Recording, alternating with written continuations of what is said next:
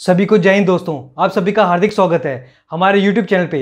तो आज हम आपके लिए एक नई और एक इंटरेस्टिंग वीडियो लेके आए हैं। तो इस वीडियो को अंत तक देखें और ये वीडियो अगर आपको पसंद आए तो इसे लाइक और शेयर ज़रूर कर दे और चैनल पे नए हैं तो चैनल को सब्सक्राइब कर दें और बेल का बटन ज़रूर प्रेस कर दें ताकि हम आपके लिए ऐसी नॉलेजेबल वीडियोज़ लाते रहें। जय हिंद, जय भारत। वालेकुम। नमस्कार सत एंड गुड इवनिंग मैं हूँ आरज़ू कासमी और आप देख रहे हैं पॉइंट ऑफ़ व्यू आज आप देख रहे होंगे कि मेरे साथ तारिक फतेह साहब भी हैं और साथ ही मेजर मानिक भी हैं। बिल्कुल आज हम इन दोनों के साथ ही डिबेट करेंगे और शो करेंगे और लेकिन मेजर मानिक भी तारिक साहब से आज सवाल करेंगे। तो तारिक साहब आप रेडी हो जाइए सबसे पहले? थैंक यू सो मच बिल्कुल। थैंक यू सो मच आप दोनों का कि आप लोगों ने ज्वाइन किया। सबसे पहले तारिक साहब मैं ही पहला सवाल कर लेती हूँ और फिर मेजर साहब भी पूछेंगे। और मेजर साहब आपने भी मेरे सवाल का जवाब देना है। वो ये कि पाकिस्तान और इंडिया आपका क्या ख्याल है सर कि कितना इम्पोर्टेंट है इस रीजन में? आ, अमन के लिए इसकी प्रोग्रेस के लिए इस रीजन के आप क्या समझते हैं कि इंडिया पाकिस्तान जो है वो आगे कैसे बढ़ सकता है? पाकिस्तान तो कभी था नहीं और कभी होगा नहीं। जितनी जल्दी ये प्रोसेस ख़त्म होगा, ये जो एक्सपेरिमेंट किया आपके यूपी के नवाबों ने वो द सुनर इट इज़ द बेटर देखिए, पाकिस्तान जो बना भी था, वो बंगाल की एक ही जगह से मुस्लिम लीग जीती थी, वो बंगाल था, उन्होंने अपना नाम बदल दिया सेवेंटी वन में। वो बांग्लादेश कहते हैं आपको। तो जब एक मुल्क की मेजोरिटी पॉपुलेशन कहती है भाई, हमें ये नाम नहीं चाहिए, गलीज नाम है, इसके नाम पे सिर्फ़ कत्लेआम होता है। And they reject the name Pakistan तो पाकिस्तान तो बचा ही नहीं। ये तो इंदिरा गांधी ने शिमला के अंदर उनको पसंद आ गई, बेनज़ीर भुट्टो, और उन जुल्फ़ार अली भुट्टो का अंदाज सिगार पीने का, और आपके जो इंडिया में वो हैं ब्यूरोक्रेट, वो कायल हो गए कि देखिए साहब, क्या क्या अंदाज है, क्या स्टाइल है। पकड़ के शिमला को कर दिया और फौज वापस भेज दी, बजाय इसके कि आप शिमला में कहते कि पाकिस्तान की अब आर्मी नहीं होगी। एक लाख रख लीजिए, वो मार्चिंग वार्चिंग के लिए काम आएँगे और जहाज़ आपके होंगे सिर्फ़ एक स्क्वाड्रन और नेवी में आप कर लीजिए जो आपने करना था कराची में 1971 में, आपकी ऑफेंसिव कोई शिप नहीं होगी। बजाय इसके कि ये हारा हुआ मुल्क ये कहता है कि हमारे बाप माफ़ कर दो हमें, उन्होंने गुंडागर्दी दिखाई और इंडिया के जो ब्यूरोक्रेट हैं कोल साहब थे और ये सब थे, वो बेनज़ीर की चाम के अंदर फंस के उन्होंने शिमला अकॉर्ड साइन कर दिया और फौज वॉर क्रिमिनल्स बजाय बांग्लादेश में मुक्ति वाहिनी को हवाले करते वो पाकिस्तान भेज दी बलूचिस्तान में जाके, यार, उनको तो मार के देखो टेस्टिंग चलती रहेगी. एंड दो ninety thousand were sent by mister Bhutto straight to Balochistan way even till today that slaughter is continuing तो Pakistan died the day Bangladesh was born दूसरी बात यह है कि ये जो अब पाकिस्तान है यहाँ तो किसी ने पाकिस्तान मांगा नहीं था।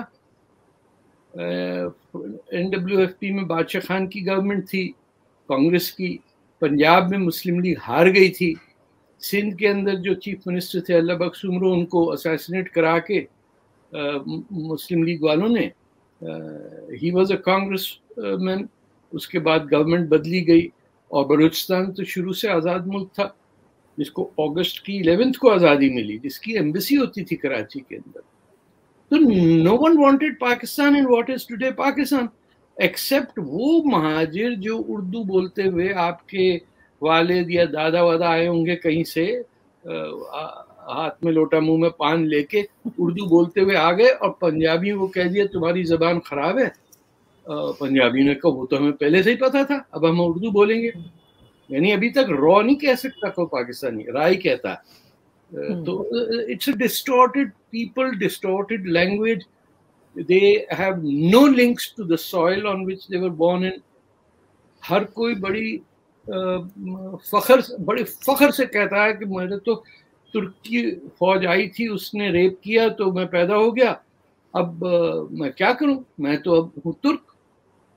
So these are the only people on earth who are in love with those who plundered them. यानी अब्दाली को देखिए, वाहिद आदमी जिसने लाहौर शहर को जलाया, पाकिस्तान में लाहौर शहर है जिसके अंदर हर आदमी अपने आप को अब्दाली समझता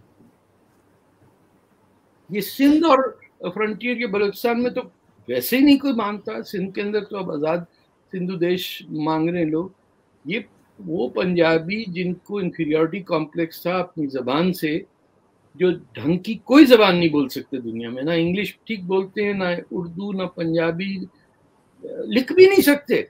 बड़े फखर से कहते हैं कि हम अपनी जबान में इलिटरेट हैं। There is there are no people on earth will say कि अल्लाह का शुक्र है, सौ फ़ीसद हम इलिटरेट हैं। ये सड़क पे निकल के कहते हैं। हमने तो अपनी जबान पे पाबंदी लगाई, पूरे पंजाब में एक स्कूल नहीं है जहाँ पंजाबी पढ़ाई जाती हो, या मीडियम ऑफ़ इंस्ट्रक्शन हो। तो ऐसे लोगों का तो खुद खत्म होना it's like on a time zone नहीं होता है टाइमर पे लगा देते हैं कि तो हमें ये नहीं पता कब होगा, लेकिन ये खुद ही उधड़ के ख़त्म हो जाएगा। और it will become a landlock place जहाँ पे पानी की किल्लत होगी काबुल डैम के ऊपर काबुल रिवर के ऊपर इंडिया डैम बना देगा। अटक के ऊपर पानी नहीं आएगा इंडस के अंदर। जो सिंधु देश है वो अलग आज़ाद होगा। ये करेंगे क्या? नहीं सर तो... मेरे सर मेरे ख्याल से एक कोई भी कंट्री जब वो बन जाती है चाहे वो किसी भी वजह से बनी हो किसी ने भी बनाई हो बननी हो चाहिए या नहीं वो एक अलग चीज़ है। लेकिन फिर वो कभी खत्म नहीं हुई चाहे छोटी से छोटी कंट्री मतलब, हो। आपका मतलब यूएसएसआर से है? नहीं सर देखे युगोस्लाविया से है युगोस्लाविया से। है ईस्ट तिमोर से है। नहीं लेकिन लेकिन भारत के भी हक में नहीं है कि पाकिस्तान एक फेल्ड स्टेट हो जाए। वो तो मैंने आपसे पहले भी कहा था कि आदर्शिर कावस जी भी कहा करते थे कि ये फेल्ड स्टेट हो जाएगा लेकिन होना नहीं चाहिए। नहीं है? भारत नहीं हाँ भारत का क्या इंटरेस्ट है? भारत ने पिछले पाँच हज़ार साल में किसी को इन्वेड नहीं किया। ये तो इतने थके हुए नरम मिजाज अंदर अंदरू they have never look beyond their border ये मेजर साहब को पता होगा कभी मोन्जोदारो से लेके आज तक फौज गई नहीं कहीं। वो चोरा एम्पायर जो बना वो खुद ही बन गया। जो आपके मच्छी बेचने वाले स्पाइस ट्रेडर्स थे उनका इन्फ्लुएंस कैम्बोडिया में ज़्यादा था। तभी तो वहाँ दुनिया का सबसे बड़ा हिंदू मंदिर है। थोड़ी गई थी वहाँ पे। ये हिंदुइज्म या हिंदुत्व या वो जो सोच है that is a reflection of non violence आपको ये खुदा चाहिए घर में रख लीजिए आप, किसको क्या टेंशन है? हमारे तो यही टेंशन है ना आज तक, कि ये शिया कहाँ से आ गए बीच में? इनको हिंदुओं ने पनाह क्यों दे दी? तो वो कसम खाई हुई है मुसलमानों ने क्या तुर्की, पाकिस्तान और अजरबैजान मिलके अपनी फौजी एक्सरसाइजेस कर रहे हैं कि एक बार फिर अर्दगान आए, तैमूर के घोड़े के ऊपर और फिर कत्लेआम हो हिंदुस्तान में? इतना ठंड पड़ जाती है, पाकिस्तानियों से बात करें आप। आप किसी से कहिए कि भाई सुना है, परसों वो आ रहे हैं एर्दोगान अपनी फौज लेके। बहन बेटियों को बचा लो। उन्होंने कहा बहन बेटियों को छोड़ो, वो कहा कहाँ से ऑटोग्राफ लेना है? सेल्फी लेनी है? इन्होंने अपने नेशनल डे में म्यूज़िक चलाया वो इजिप्ट टर्किश प्ले का। कैन यू इमेजिन एक आदमी एक एक्टर को एक फिक्टिशियस फ़िल्म के आदमी से परेड लीड करा दी? इनको मुल्क में इंटरेस्ट थोड़ी है। हर पाकिस्तानी मेजर साहब आप गलत फौज में आ गए अगर आप हमारी फौज में होते ना जो पाकिस्तान में बनी तो इस वक्त कनाडा में बैठे होते एक प्लाजा आपके नाम का होता। उसमें छत्तीस दुकानें होती हैं आपके बच्चे प्राइवेट स्कूल में जा रहे होते।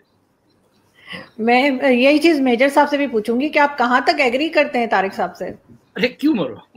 रिटायर्ड रिटायर्ड है ना हाँ जी सर रिटायर फिर फिर हाँ। जी आज प्री मैच्योर रिटायरमेंट लिया था। नहीं नहीं वेरी सबसे पहले Fateh sir thank you so much for joining today और मैं आपको बताना चाहूँगा आपका बहुत बड़ा फ़ैन हूँ मैं तो it's a pleasure to be and honour to be talking to you तो थैंक यू सर तो कमिंग बैक टू क्वेश्चन जो आरज़ू जी ने पूछा I think the the creation of Pakistan and sir please feel free to correct me जहाँ पे you feel the creation of Pakistan itself evolve around की एक anti India state बनाई जाए which should be a safe haven for Muslims anti Hindu state anti Hindu state हाँ। हाँ जी। तो आई थिंक इवन पिछले पिछहत्तर साल में अगर आप पाकिस्तान को समराइज करने की मतलब मैं अपनी तरफ़ सोचता हूँ आई थिंक तीन या चार डिफाइनिंग फैक्टर्स हैं। एक हेट फॉर हिंदूज दूसरा है fear of subjugation by India तीसरा है हार्ड लाइनर रेडिकलाइज्ड इस्लाम और फोर्थ है फॉरेन एड हम्म। इसके अलावा I fail to see anything in which Pakistan can be defined as a country उसके अलावा मैंने मतलब मेरा यह है कि इन चीज़ों में और टाइम टू टाइम उन्होंने इन्हीं चीज़ों के एग्जाम्पल्स देते आए हैं। एक चीज़ भूल गए सर आप। हाँ जी सर। वो अपने लोगों को मारने के अंदर no country has more of its own citizens That's true. than the Pakistan army. That's 71 Bangladesh में और इवन आई मीन बलूचिस्तान में। एंड इट इज़ शॉकिंग जब यूएस 2001 में आए थे आप यूँ लगा लीजिए शाम को सात बजे वो तालिबान के साथ बैठे रोटी खा रहे थे। वो जनरल मुशर्रफ ने पैसे लिए और अगले दिन सुबह उन्हीं पर बॉम्बिंग शुरू हो गई। ट्राइबल एरियाज़ में। It is unimaginable for you know sovereign country एक देश के प्रेसिडेंट प्राइम मिनिस्टर को कि आप डॉलर्स के लिए अपने लोगों पर ही स्ट्राइक्स और बॉम्ब्स करवानी शुरू कर दीजिए। एंड देन दे से टीटीपी इंडिया ने शुरू कराया होगा। अरे आप जिनको मार रहे हैं वो तो खड़े होंगे ही आपके। तो टीटीपी इंडिया क्या है सर नहीं दे ऑलवेज ब्लेम कि टीटीपी तहरीके तालिबान पाकिस्तान। अच्छा। हाँ हाँ तो दे ऑलवेज बड़ी वेरी हैप्पीली से कि ये टीटीपी इंडिया की साजिश है। हमें इंडिया को साजिश करने की ज़रूरत ही नहीं थी। आपने 2000 sir if I am right 2010 तक इन्होंने जो ब्रिटिश ने एटीन नाइनटी जब ड्यूरेंट लाइन बनी थी तो नॉर्थ वेस्ट फ्रंटियर प्रोविंस नाम रखा था। जी। इधर इधर ये था उधर नेफा था। अपनी इनकी ईस्टर्न लिमिट राइट? जी ये 2010 में जाकर इन्होंने नाम बदला था अंडर सम एटीन अमेंडमेंट और फिर भी इन्होंने पख्तूनवा के साथ खाइबर लगा दिया ताकि नेशनलिज्म को दबा के रखें। Yes. Right? So they are actually such a bunch of insecure people uh, और इवन इवन तो कमिंग बैक टू जब इंडिपेंडेंस आई तो उस time I think mister Jinnah को बोला था जैसे इंडिया में take some take some governor general as some Britisher ताकि कमांड एंड कंट्रोल ठीक रहे। uh, एक तो उन्होंने सब मतलब आई थिंक वो बहुत ही कम देशों में हुआ होगा कि एक टेम्परेरी कैपिटल बना दी गई हो और उसके बाद फिर सालों बाद शिफ्ट करके नया शहर बना हो इस्लामाबाद। वहाँ मतलब it is it just shows की जो स्ट्रेटेजिक लेवल के डिसीज़न कितने एमेच्योर और एडॉक थे। और फिर उसके बाद आई थिंक इक्यावन तक आर्मी तिरपन तक नेवी और सत्तावन तक एयरफोर्स के बॉसेस ब्रिटिश रहे थे। और हम्म। इन्होंने इन्होंने इतना कंट्रोल दे दिया था आर्म्ड फोर्सेस को जस्ट बिकॉज़ कि सेम आई सेड कि इंडिया हम पर अटैक कर देगा। अपनी पूरी शुरू से इनकी वो आइडियोलॉजी रही। लेकिन सर इन्होंने तो अक्टूबर 47 में इंडिया पर अटैक कर दिया था। हाँ बिल्कुल। और और दे डिड रादर ऑपोजिट कमाल की बात ये है। You need to be specialised in your madness to such a degree कि you act totally against the obsession that consumes you यानी आपको बीमारी हो बुखार हो और आप जाके बाहर कहें बर्फ़ जरा कहाँ है मैं उसमें डुबकी मार दूँ। मतलब या पता नहीं आग लगा लें आपको I don't know whether I am sounding logical but और और डिल्यूजन की हद सर मैं मतलब इसको मानता हूँ कि जब 47 48 में अटैक कर रहे थे हम पर तो जब आरबीआई डिवाइड हुआ था पंजाब नेशनल बैंक इधर आ गया था जी, जी, तो आई हाँ जी आई थिंक पिछहत्तर करोड़ रुपए इंडिया ने देने थे टू इन द पार्टीशन इन्होंने एकदम अटैक कर दिया। I mean it is shocking to hear when I read that कि ये ये लड़ रहे थे कि वो मैं पैसे दो। Let me correct you if I may my understanding is कि वो जो पैसा था वो मिलने के बाद अटैक हुआ। पूरा नहीं मिला था सर पैसा रुका हुआ था यस यस ये गांधी जी की उसमें प्रेशर पड़ा कि आप पैसा दें।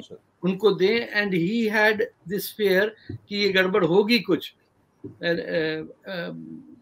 बट इंग्लिश बोलते थे दोनों नेहरू जी और ये आपके जिना साहब। इनकी हाँ। अलग अंडरस्टैंडिंग थी ये। नीचे वालों को कौन बात करता है? गांधी वांधी गफ्फार खान ये किधर से आ गए? इंग्लिश मीडियम थे ना ये लोग। तो इनके पैसे छूटने के बाद ही अटैक हुआ। Within I think a week because navy मैं अच्छा। एक इंटरनल बात बताऊँ my my grandfather was in the French army in the first world war तो जो सेकेंड वर्ल्ड वॉर की आर्मामेंट्स थी विची गवर्नमेंट जो हिटलर के साथ थी विची बेस्ड जो थी उनकी अबेंडेंड राइफल्स खरीदी गई थी एंड वो पाकिस्तान के पहले मार्च पास्ट के अंदर they didn't have guns these guns were bought from the French and supplied to the the Pakistan fledgling army and uh, on that because of that my grandfather then became an uh, intending evacuee जिसे कहते हैं वो बॉम्बे में रहते थे। And he he had to leave India वो अपनी diplomacy वहाँ से चला रहे थे। तो इन्होंने ये गन्स जो हैं लेने पे रिश्वत ली थी। Okay okay. कि हम ये गन्स लेंगे फ्रेंच अबेंडन राइफल्स अगर हमको आप बारह हज़ार रुपये दीजिए ये जो डिफे बाद में गवर्नर जनरल बने जो गुलाम मोहम्मद हैं हाँ इनके थ्रू आपको यकीन नहीं है उस जमाने में क्या लूटमार हुई। हमारे कराची के बीच में front it's one of the most beautiful sea shores anywhere that have been और उसमें कई हज़ार गोरों के बनाए हुए हट्स थे। हाँ इन्होंने वो हट्स को कन्फिस्केट किया अपने नाम ये कह के कि बंबई में छोड़ आया हूँ मैं घर। Everywhere they accumulated wealth by saying कि मेरे बम्बई की प्रॉपर्टी इसकी अवेज दिल्ली में प्रॉपर्टी का ये है तो मोटाला पैलेस मुझे दे दो। हर जगह ये बेईमानी हुई। इस शख्स ने अपनी अपने दोस्त की बेटी भगाई। सोलह साल की उम्र में, दो साल he live as a child molester ये भी नहीं है। उन लोगों का सोचिए जो दिल्ली, लखनऊ में बैठ के कह रहे थे, कायद आज़म है। ये ये तो कायद आज़म है। मुझे मुझे मुझे आज ऐसा क्यों लग रहा है कि आप दोनों मेरी तस्वीर पे हार लगवा के छोड़ेंगे तो... आप बीच में आ जाती ना तो बात हो जाती है तो। अच्छा नहीं नहीं मैं अभी इधर मैं ये ये भी पूछना चाह रही थी ना कि मेजर साहब ने ठीक है आपने जो बात की लेकिन सर मुझे ये भी बताइए ना कि आपको लग रहा है कि जैसे आपने बताया कि आप तारिक साहब से कहाँ तक एग्री हैं लेकिन फिर भी इंडिया पाकिस्तान जो है वो अभी फ़िलहाल मौजूद है और आई होप कि आगे भी रहेगा लेकिन क्या इम्पोर्टेंस है इस वक्त पाकिस्तान की? क्योंकि अफ़गानिस्तान के लिए, चाइना के लिए तो है, क्योंकि अगर उनका सी पैक देखें, उनको रास्ता तो यहीं से जाता है, वहाँ पे। तो आपको क्या लगता है कि अगर ये टेंशन थोड़ी कम हो जाए दोनों कंट्रीज़ की, कोशिश तो की जा सकती है या नहीं? कोशिश भी नहीं की जा सकती। सबसे पहले मैं एक चाइना का डाउट क्लियर कर दूँ, जो अगर कोई आप आप भी हैं ये वो। चाइना के लिए पाकिस्तान कोई क्रिटिकल एलाई नहीं है। कि उनके बिना चाइना को सांस नहीं आएगी। Rather in a two front war अगर चाइना के साथ इंडिया का होता है China will be more than happy कि बेशक पाकिस्तान हार जाए इंडिया उधर बिज़ी रहे। सो इट इज़ आप जो ये सी पैक बोल रहे हैं तो चाइना आपको ऐसे ग्रांट्स वैसे नहीं देता जैसे अमेरिका ने आपको 2001 से अब तक 19 जमा तेरह बिलियन डॉलर तो 32 बिलियन डॉलर तो जस्ट ट्रांजेक्शन के दे दिए थे सॉरी ट्रांजिट के। China is a different ball game all together और अफ़गानिस्तान के लिए भी कि पाकिस्तान ने दुनिया पे इंसिस्ट करने की कोशिश करी कि हम अफ़गानिस्तान का गेटवे हैं जबकि इस चीज़ को तालिबान भी एक्सेप्ट नहीं करेगा। They would like to impose their own sovereignty वो इसलिए इतनी लड़ाई करके सरकार नहीं बनाई कि आ, हमारे ब्रोकर पाकिस्तानी बनेंगे। और ये इनकी आ, जब से मतलब तालिबान बना था वो देवबंदी मदरसाज में जनरल नसीरुल्लाह के अंडर तब से लेकर अब तक पाकिस्तान ने पूरी कोशिश करी है इनको कंट्रोल करने की। तो ये एज दे से इनकी से हो सकती है but they can not control Taliban तो किसी भी और इस तालिबान वाले लास्ट छः महीने के केस में पाकिस्तान ने अपने आप को इंटरनेशनली इतना आइसोलेट कर लिया है जो मतलब अमेरिका में यूरोप में जो आम आदमी अक्सर आप जब भी ट्रैवल करते होंगे आप भी गए होंगे अक्सर लोग इंडियन पाकिस्तानी इसको कंफ्यूज कर लेते हैं कि आप पूछते आप कहाँ से हो? तो इंडिया से I thought you you're Pakistani I thought you you're Indian ये चलता रहता है। लेकिन जब अब सबको पता है पाकिस्तान कौन है क्योंकि आपने एक आपने आई मीन mean, पाकिस्तान ने एक पूरे देश को तबाह कर दिया। और इस कारण अब उसका रिप्रिकशन ये हुआ कि अमेरिका को अपनी हार और अपनी शर्म की वजह से जब अपनी कांग्रेस कमेटीज़ में यूएस सेनेट्स में जवाब देने पड़े तो उसमें जब पाकिस्तान खुल के बाहर आया कि ये लोग 20 साल से 30 साल से 40 साल से क्या कर रहे हैं तो अब सबको पता है कि पाकिस्तान क्या है। तो आप डिप्लोमेटिकली कट ऑफ़ हो चुके हो कट ऑफ़ हो चुके हैं। फाइनेंशियली तो मैं ना ही बोलूँ तो ठीक है राइट आपका उधार इतना है कि आप अपनी स्टॉक मार्केट सारे एसेट्स बेच दे तो नहीं उधार चुका सकते। दुनिया का ऐसा कोई इंडेक्स नहीं है जिसमें आप लास्ट के दस पंद्रह में नहीं है। सिर्फ़ एक में आप सबसे ऊपर है। It is called global fragile government index उसमें आप नंबर चौदह पर है कि कितनी जल्दी ये देश गिर सकता है। तो कुछ अफ्रीकन, इराक, लीबिया, यमन के पीछे ही हैं आप। तो कहने का मतलब ये है कि इंडिया को एक्चुअली कुछ करे बिना भी अगर हम बैठे रहे as they say you don't need to disturb your enemy when he is making mistake अगर हम India is just watching wait and watch चल रहा है आप खुद ही इतने गलत डिसीज़न पे गलत डिसीज़न लिए जा रहे हैं कि पाकिस्तान अपने आप ही इम्प्लोड हो जाएगा। जिसको मतलब अब फ़र्स्ट सबसे पहले टीटीपी उठेगा आपके नॉर्थ जाएगा सिंध होगा बलूच होगा you will break down into a small Punjab state और इसको कोई it's very impossible to stop it now और स्पेशली ये जो प्रेजेंट गवर्नमेंट है इन्होंने बस वो आग में घी ही डाला है जो प्रोसेस स्लो हो सकता था इन्होंने उसको पुश ही दिया है। इट इज़ नॉट दैट इन्होंने हेल्प किया है कुछ। हाँ नहीं बिल्कुल ये आप ठीक कह रहे हैं क्योंकि ये तो बहुत कहा जा रहा है कि जो इमरान खान की गवर्नमेंट आई है उसने और ज़्यादा मुल्क का कबाड़ाई किया और बेहतर कुछ नहीं हुआ। लेकिन तारिक साहब अब आईएमएफ ने भी इनको मना कर दिया जो इन, इनकी लोन लेने ये गए थे वो उन्होंने कह दिया कि डू मोर और बाहर निकाल दिया इनको। तो अब ये करेंगे क्या? क्योंकि क्योंकि सर इससे पहले इससे पहले आप जवाब दे मैं एक छोटी सी बात। बीच में आपने खान अब्दुल गफार खान का नाम लिया था मैं भूल जाऊँगा इसलिए मैंने आपकी एक इंटरव्यू में सुना था दैट यू मेट हिम तो आज सेशन के दौरान कभी भी please do tell about that he is a very I would love to hear about that हाँ जी मैम प्लीज़ मैं का फिर मैं बात करते हैं उस पे। मैं जरा मेरी सोच अलग है इस मामले में क्योंकि जो कन्वेंशनल विजडम है, उसमें पाकिस्तान को as an entity as a state के हिसाब से case way you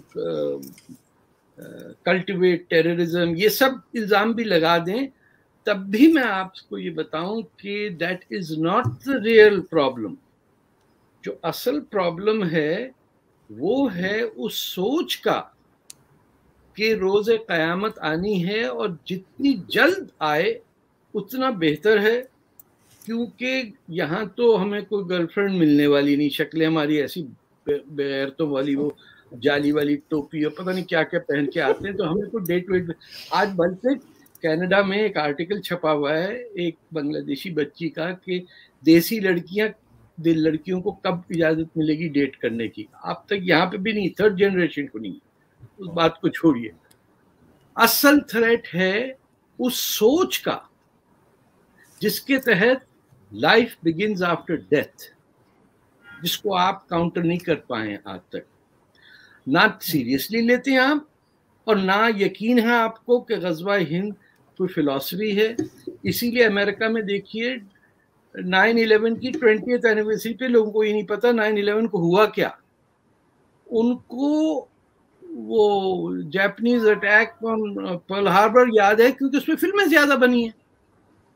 so so, जब दुनिया की मिडिल क्लास पढ़ने वाले लोग इसमें हो कि गूगल में जॉब कौन सी मिल रही है? सीईओ e कहाँ से बनना है?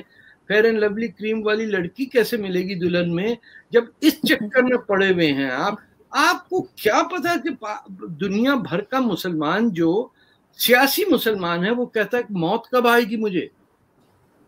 और मौत उस वक्त तक नहीं आएगी जब तक हिंदुस्तान का हर हिंदू मुसलमान होगा और हर हिंदू टेंपल डिस्ट्रॉय होगा। ये नॉन सीरियसली ले लेते हैं आप लोग इंडिया के अंदर।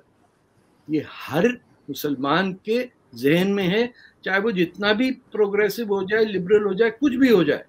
क्योंकि हमारा तो पैदा होते ही यू नो खतने के बाद बाल कटते हैं और उसके बाद अल्लाह अकबर की अजान दी जाती है और उसके बाद शुरू हो जाता है कि हनूद और यहूद जो हैं, वो काफिर हैं, उनको मारना भी, पढ़ना लिखना नहीं आता, उससे पहले हमको हमारे दुश्मन बता दिए जाते हैं। और फिर हम अरबी में पढ़ते हैं कुरान, जो गलत ऑर्डर में कंपाइल हुआ हुआ। आपको किसी कुरान में पहला वर्ड इकरा नहीं मिलेगा। और इतनी हिम्मत वाला कोई नहीं मिलेगा जो कहे कि कहाँ चला गया पहला वर्ड कुरान का। So when we are dominated by ideology that is suicidal. आपको जिम जोन्स का पता होगा वो जो साउथ अमेरिका में गायना में जाके 400 आदमी डूब के मर वो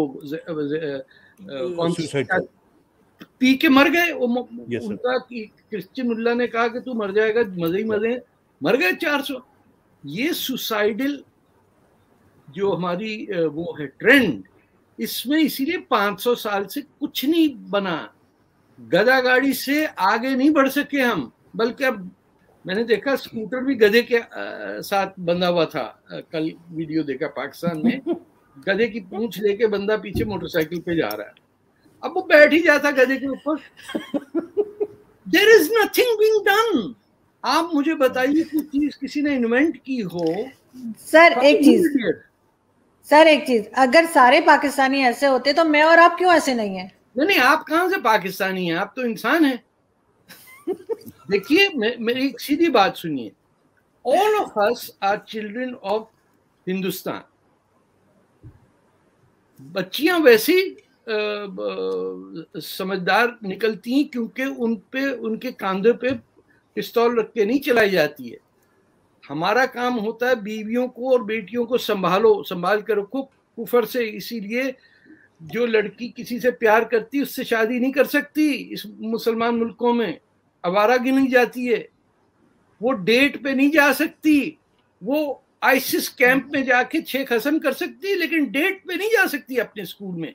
अपना जो है, इतनी पिटाई करता है छोटा भाई। और बाप जो है, यूँ बैठ के देखता है, सिगरेट हुक्का पी के कहता जवान का बच्चा देखो बहन को पीट डाला। लड़के के साथ गई थी। अबे लड़के के साथ गई थी शुक्र कर लड़की के साथ जाता तो क्या कर लेता?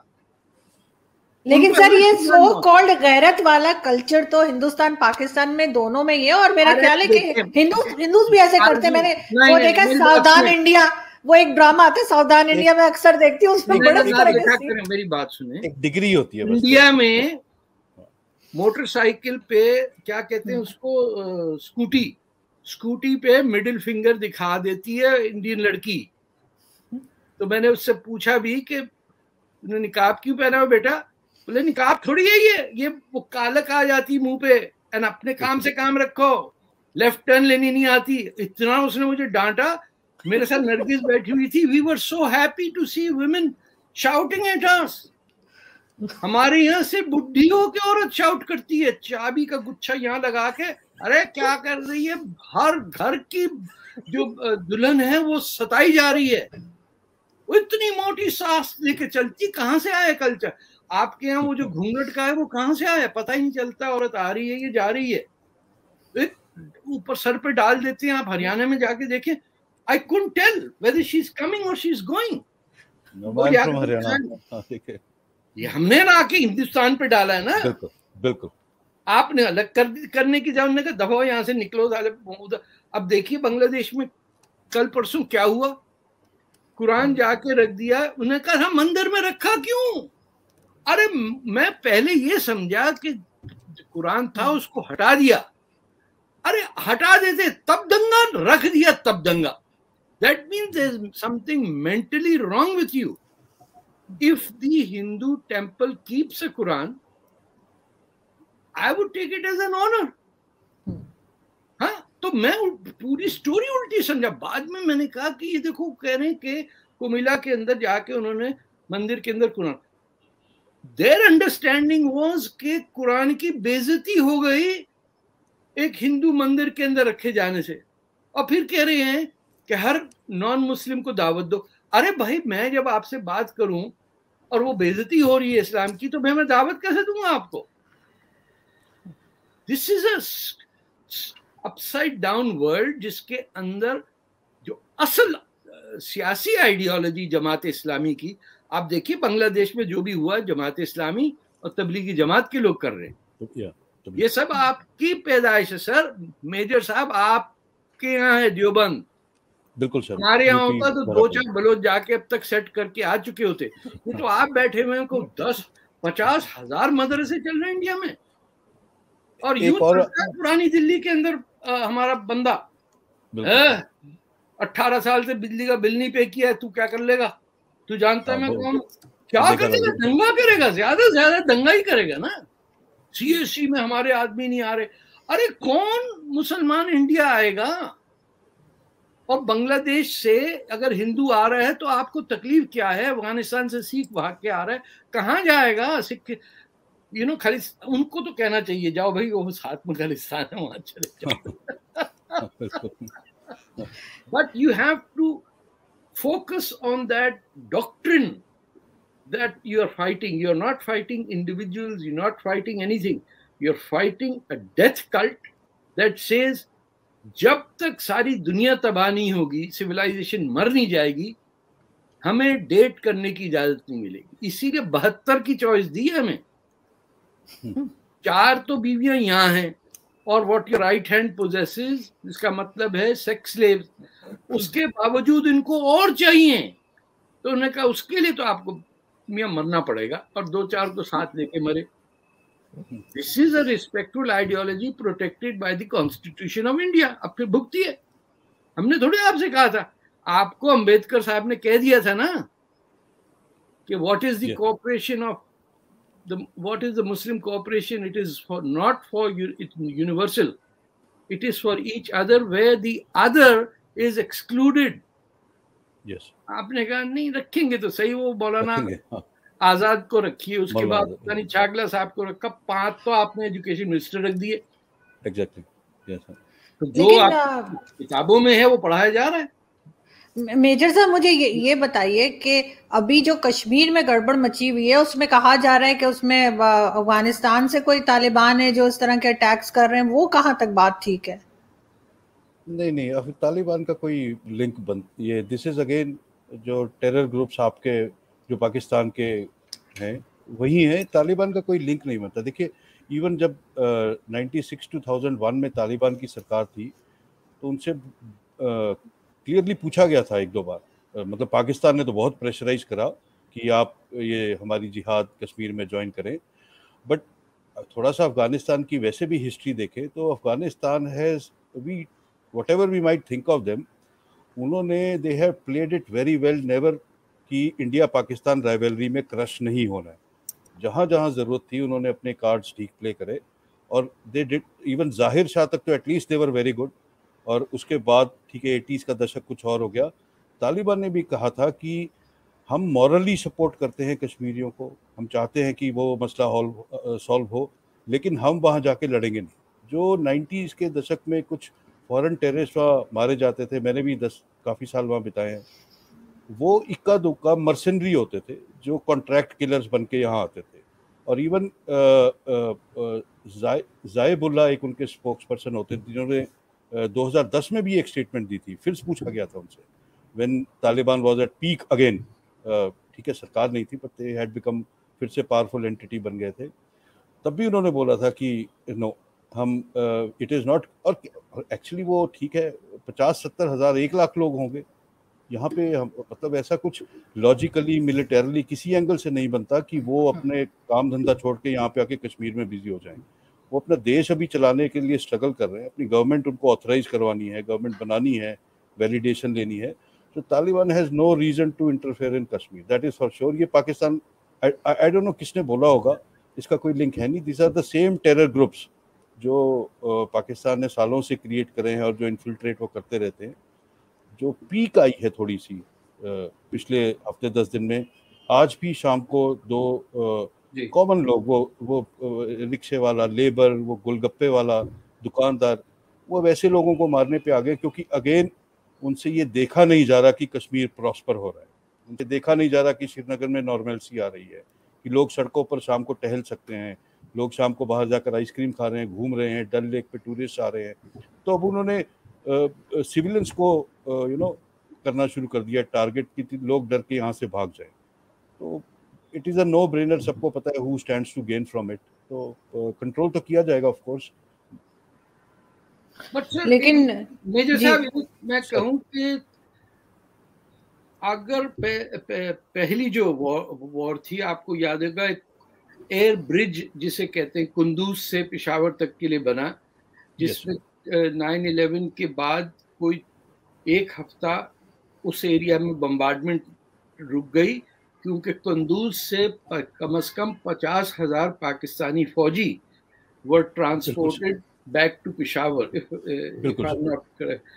And it is these Pakistan ISI bred सूडनीज थे वहाँ पे सोमालीज थे बर्मा से कई लोग थे इंडोनेशिया ये उन्होंने अपनी आइडेंटिटी छुपाने के लिए फॉरेन फाइटर्स को कुंदूज में रखा हुआ था। Yes. मुझे डर है कि there today there is a bigger acceptance of this doctrine के Hindustan has to be destroyed उसमें मोदी जी ने तो सऊदी अरेबिया और जो ट्रेडिशनल बैकर्स थे, उनको न्यूट्रलाइज किया। लेकिन आप अगर एर्दोगान को देखिए और ये जो नया मलेशिया, पाकिस्तान, ये नॉन अरब नॉन इरेनियन जो एक डिज़ाइनर फ्रंट बन रहा है, इसके अंदर भी सोच वही है। बिल्कुल सर। कि that this is the problem in the end how to link up with China and Chinese designs वो और बात है कि चाइना पहले इनको घड़प कर जाएगा और डिकार नहीं लेगा लेकिन and Malaysia will have its own problems with its Chinese population but that idea is today modernized and Erdogan is the key player in this pan Islamic jungle वो तो कम से कम थोड़ा बहुत उसको काम करना भी आता है ये हमारा जो खान है ये तो वो सुइया चबो रहे हैं। तो आप वेरिएशन देखिए कि from trying to acquire nuclear bombs to चाकू जनी एंड सुई तागा ये वैरायटी कितनी है? And all of this is stemming from non scientific non rational approach to solving a problem क्योंकि इनके जहन में ये हनूद और यहूद का का मसला ईसाई को तो हम निपट लेंगे। And world has to come to an end ये कहीं आइडियोलॉजी नहीं है जो कहता है कि civilization has to be destroyed इनको अपनी कॉन्ट्रडिक्शन नहीं समझ में आती कि बनाया था तो अल्लाह ताला क्यों कह रहा है कि भाई तोड़ दो। बड़ी मेहनत से बनाया है। स्टीम इंजन बनाने में अल्लाह मियाँ का बहुत मेहनत की होगी कि भाई कुछ कुछ तो जहाज़ मैंने मैंने कहीं पढ़ा था तारिक साहब मैंने कहीं पढ़ा था किसी ने लिखा था कि जो अल्लाह है वो हम हमारी कौम से बहुत प्यार करता है इसीलिए अंग्रेज़ आए उन्होंने रेलवे स्टेशन और इस तरह की सारी चीज़ें बना दी हैं और चाइना आके अपडेट कर कर देता है। तो अल्लाह ने हमें मेहनत से बचा के रखा हुआ है। दूसरी कौमें आती हैं और हमारे यहाँ चीज़ें बना के चली जाती हैं। So this is not a joke. This is serious yeah. conversation. exactly. ये मैं ये मैंने पढ़ा था कहीं कोई जोक ही था ये लेकिन ये कि ये रियलिटी ही मुझे लगी कि ऐसा ही हुआ है हमारे यहाँ दूसरी कौमें आके कुछ ना कुछ बना के चलेंगी हमने खुद तो कुछ नहीं बनाया वो जो हसन निसार साहब कहते हैं हमने चारपाई बनाई है जिसपे बैठ के हम दूसरों को बुरा भला बदुआएँ देते हैं जन्म में जाने की दुआएँ करते हैं उसके अलावा पड़ेगा कि ये चारपाई का एक चौथाई हिस्से के अंदर नाड़ा क्यों होता है, उस पर बैठने की जगह क्यों नहीं होती? मुझे उसका किसी ने समझाया कि वहाँ बैठ के आप वज़ू कर सकते हैं। गए कैसी, कैसा पलंग है कि उसके अंदर थ्री फोर्थ कवरेज है और बाकी आप गिर जाएँगे बीच में। बचपने में लटक जाते थे नीचे। गिर जाते थे यानी इसमें वैसे इंडिया भी कोई ऐसा आगे नहीं निकला हुआ। वहाँ पे भी इतने जूते पड़ते हैं देखिए बट सर आपने बीच में आपने बीच में एक बड़ा अच्छा पॉइंट बोला था तो इससे पहले कि आरज़ू जी और हसाते ने मैं उस पे I want to come back I agree with you कि जब वो तालिबान बोल रहे थे I was trying to explain कि मिलिटरीली वो क्यों नहीं आएँगे? वेरी राइट हाँ but you are very right कि ये अब ब्रीडिंग ग्राउंड बहुत मेजर बन जाएगा। क्योंकि यहाँ कोई यूएस प्रेजेंस नहीं है कोई NATO it is like a free run पहले जो था मेजर साहब देखिए एक सोमाली आदमी जाके एक ब्रिटिश मेंबर ऑफ़ पार्लियामेंट के अपनी कंस्टिट्यूंसी ड्यूटी करने के अंदर चार बार चाकू मार के वहाँ बैठ जाता फिर। लो कर लो बात। और ब्रिटिश मीडिया ये बोलने को तैयार नहीं कि किसने मारा। ऐसे उनका वो बोल ही पास्ड अवे शॉकिंग जैसे को उड़न खटोला आया था उस पर उन्होंने रख दिया वो पास अवे हो गए। और वो उसको सुमाली को नाम नहीं ले रहे। अरे कहीं हाँ, अहमद मोहम्मद हो गया तो मारे गए। कैन यू बिलीव इट और उधर देखिए वो बांग्लादेश के अंदर जो हो रहा था वहाँ पे भी नहीं कुछ कह रहे थे कि किसका टेंपल तोड़ रहा है भाई कौन मार ऐसे डर के बैठे हमारी फैमिली में ज़रूरत से ज़्यादा जर्नलिस्ट हैं डरे रहते हैं लोग। कि एक... अरे सर अपना मुँह जरा वो करिए सर कुछ कह दिया ये हो जाए। अरे मार ही देगा सेवेंटी वन में मार दिया। पच्चीस पे मारते तो कोई फ़ायदा होता है अब तो जो डैमेज करना था हमने कर दिया। लेकिन हरकतें खराब से खराब तर हो रही हैं। Western media is covering rise in South Asia as in Bangladesh. मतलब आपने हिंदुत्व पे कॉन्फ्रेंस करा दी। अब हाँ, बताइए। कॉन्फ्रेंस बताइए। वो अफ़गानिस्तान में तबाही मची हुई है उन्होंने कहा यार ये हिंदू करा रहे हैं। ये कोई हिंदू करा रहे हैं।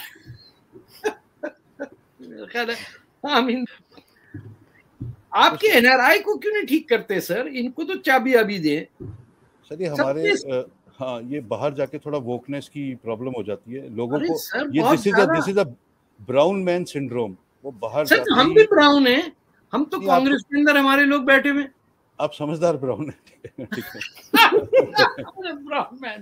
हमारे it is like white man's validation की इतनी ज़्यादा ज़रूरत होती है ना आप कॉमन डिस्कशंस में पैनल्स में डिबेट्स में मैं इसका आपको एग्जांपल देता हूँ कोई बड़ा सीईओ हिंदुस्तानी अगर किसी छः महीने के एक्सपीरियंस के इंटर्न वाले को भी किसी से मिलवाने ले जाएगा वो उस इंटर्न को एड्रेस करता रहेगा बजाय कि उस चालीस साल के एक्सपीरियंस वाले CEO I know so in debates we always से look at that report which came out from US look at that report and we know how sold these media even these are मतलब Russia Russia के time Stalin ने prove कर दिया था कि उन्होंने इनके जर्नलिस्ट को बुलाकर पूरा रशिया रिवाइव करवा दिया वेस्टर्न मीडिया में और हाँ. बाद में उसको उसको वो पुलिट्सर भी मिला बाद में आई थिंक या एक और अवार्ड मिला था I am forgetting the name of journalist फिर उसके बाद रिसेंटली ये सब इनके स्कैंडल्स आते रहते हैं ऑफ़ तो they themselves are actually such I mean they forgotten what media and journalism is they have started to control by narrative control and opinion shaping and all that तो काफ़ी बुरा हाल है उस हिसाब से। एंड जो जिस तरह का अग्रेशन इंडिया फेस कर रहा है internally from this quarters in western media it is actually मतलब वो होता है कॉमन सी बात है। जैसे आप अगर 100 मीटर स्विमिंग कर रहे हैं लास्ट के 10 मीटर हमेशा सबसे डिफ़िकल्ट ही होते हैं। Yes. तो ये उस तरह का डिफ़िकल्ट टाइम है but I am sure will sail through लेकिन चीज़ बस एक बात आजो जी मैं इनसे ज़रूर पूछना चाहता था सर से। सर आप जब चाइना पाकिस्तान अफ़गानिस्तान की बात कर रहे थे मेरा ये मानना है कि and I would like your advice on that कि जो शिंजियांग प्रोविंस में इनका यूगर मुस्लिम्स वाला इशू है और फिर ऊपर ईस्ट तुर्कमेनिस्तान इस्लामिक मूवमेंट है। चाइना इज़ वेरी स्केर्ड कि ये आपस में कनेक्ट ना हो ताकि इधर अपराइजिंग ना हो। तो पाकिस्तान को चाइना का तालिबान टेक ओवर में मेजर सपोर्ट का कारण एक ये भी रहा होगा कि दे आज तालिबान और पाकिस्तान टू कंट्रोल ईटीआईएम तो do you have any views on that China में दो तीन किस्म के मुसलमान हैं जो मिंग मुसलमान हैं नॉर्थ वेस्ट के अंदर नॉर्थ नॉर्थ में बिल्कुल they are fully integrated into Chinese society ये जो हमारे साउथ वेस्ट के हैं जो लद्दाख साइड पे और इधर उधर कहते हैं that is Chinese result of Chinese occupation of Tibet जो उनके okay. तुर्कमेनिस्तान से कनेक्शंस थे वो टूटे और ये सब हुआ। हमारा एक कनेडियन है जिसको पकड़ा हुआ अब छः साल से Rahim I forget his full name Rahim he was visiting Uzbekistan वहाँ से उठा के लेके गए and he is now in prison for even दो ही इज़ कनेडियन उसको नहीं गोरों को दो को छोड़ दिया उस बेचारे को हुसैन जलील नाम है he was not released because China has this uh, that they and they recognize the truth that they are an occupying power in Tibet. Yes. Tibet पे अग्रेशन करके वो पूरा एरिया जिसको वो आ, आपके इंडियन साइड से भी कब्जा किया हुआ है वहाँ पे ये इन्होंने हाँ हाँ नहीं वेस्ट में जो है लद्दाख के पास का एरिया अच्छा ओके वेस्ट की बात है। हाँ जी बिल्कुल बिल्कुल। जी वहाँ पे भी कब्जा किया हुआ है। अक्साई चीन जी जी जी Aksai Chin they don't want to be known as an occupying power despite the fact that today it is the East India Company of the world.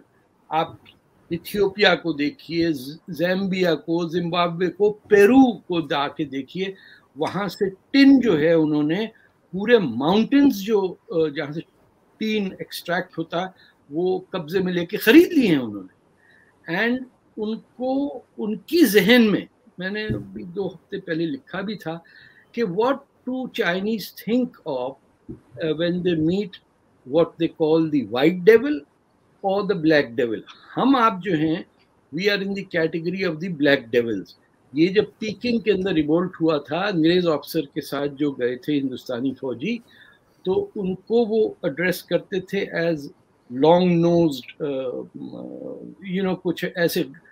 लेकिन जो हिंदुस्तानी फौजी थे we were considered as rats in their eyes China की dominant इस वक्त दुनिया में ये फिलॉसफी है कि बाकी लोग तो इंसान ही नहीं अभी हैं। Yes. आप पाकिस्तान में एक क्लिप था कि दो चाइनीज़ ऑफिसर्स एक गाड़ी में बैठे पुलिस वाला उनसे सवाल पूछ रहा है और वो गर्दन भी नहीं मोड़ रहे अब वो पाकिस्तानी सुप्रिटेंडेंट कह रहे सर वो तो गाली नहीं कर दे मेरे नाल। बात ही नहीं कर रहे they are not even turning the neck they don't even dare to tell you the name थूक देंगे आपके ऊपर वो। और अभी 35 मिलियन मांगे उन्होंने जो उनके इंजीनियर्स 38 38 पहले 3 मिलियन प्रोजेक्ट वाला क्या फ़र्क पड़ता है सर? हम कौन सा देने वाले हैं? जितने मर्ज़ी मांग लें। दो चार को भेजना अच्छी बात ये बात कोई उधार का डर तो तब लगे अगर देने हो। जितने मर्ज़ी मांग लो हमने कौन से देने? तो थैंक यू सो मच कि आप दोनों ने ज्वाइन किया? जाते जाते सर तारिक सर मैं आपको बुक दिखाऊँ कि मुझे संजय दीक्षित जी ने अपनी बुक भेजी है। हाँ, हाँ, हाँ, और अमेरिका से उनके जी अमेरिका से उनके दोस्त ने किसी ने और आपकी बुक के लिए मैंने कहा है यहाँ पे और उन्होंने जो बुक स्टॉल वाले हम कह रहे हैं कि मंगा देंगे। तो जैसे ही आपकी बुक आएगी वो भी पढ़ना शुरू करती हूँ। वो संजय दीक्षित ने पिछले शो में कहा कि आपने मुझे आपकी किताब ने मुझे खराब किया। अब आपकी किताब मैं किताब पढ़े बगैर ही खराब हो चुकी हूँ सब मुझे कहते हैं कि तुम तारिक साहब के साथ शो क्यों करती हो? तो मैंने कहा मैं तो करूँगी। थैंक यू मेजर साहब अगर आपको मौका मिले just as an educational piece उसके अंदर I have deconstructed this whole notion of the Islamic state कि ये ये ये तो है ही नहीं। ये तो प्रॉफिट की डेथ के बाद ही कुरैश और अंसार मार पीट झूठा अठारह घंटे प्रॉफिट की बॉडी मई की गर्मी में रखी रही दफनाने पे तैयार नहीं कोई। कि चाबी कुंजी किसके पास जाएगी? सब के सब सास बन गए। एंड दैट या सो आप सोचिए कि एट नो स्टेट पहला अरब जो गया है जेरूसलम ये क्लेम करते हैं ना कि यहूदी आगे बैठ गए। ये 661 में पहला अरब पहुँचा है वहाँ जेरूसलम yes. मस्जिद अक्सर कोई चीज़ नहीं थी जिसका ज़िक्र करते वो मस्जिद उससे पहले तो आपके कोचिंग में बन गई थी मस्जिद। अच्छा वहाँ कोई आपका ऊपर वाला यूपी का गोरा मुसलमान नहीं गया? Abdul Kalam was the first Indian Muslim politician who visited that mosque क्यों? तमिल मुसलमान जो मैं मानसून मुस्लिम कहता हूँ हम्म। ये लोग तो नहीं आए थे ना इन्वेट करने। इनकी तो शिपिंग थी यमन और आपके मलाबार कोस्ट पे इस्लाम से बहुत पहले के ताल्लुक आते हैं ना इनके तो। बट एनी वे इजाज़त दीजिए। Thank you so much sir thank you thank you so much sir आपसे हमेशा बहुत सीखने को मिलता है। डेफिनेटली दोबारा मिलेंगे। Thank you sir thank you thank you sir दोस्तों, आशा करता हूँ कि वीडियो को आपने अंत तक देखा होगा और इस वीडियो में आपको काफ़ी कुछ जानने को मिला होगा और वीडियो को आपने काफ़ी इन्जॉय किया होगा। ऐसी वीडियोस देखने के लिए हमारे चैनल को सब्सक्राइब करें और बेल का बटन ज़रूर प्रेस कर दें ताकि हम आपके लिए ऐसी नॉलेजेबल वीडियोस लाते रहें। और वीडियो अगर आपको पसंद आया तो इसे लाइक और शेयर ज़रूर कर दें। तो अगली वीडियो तक आप अपना ख्याल रखिए। हम जल्द मिलेंगे। जय हिंद, जय भारत।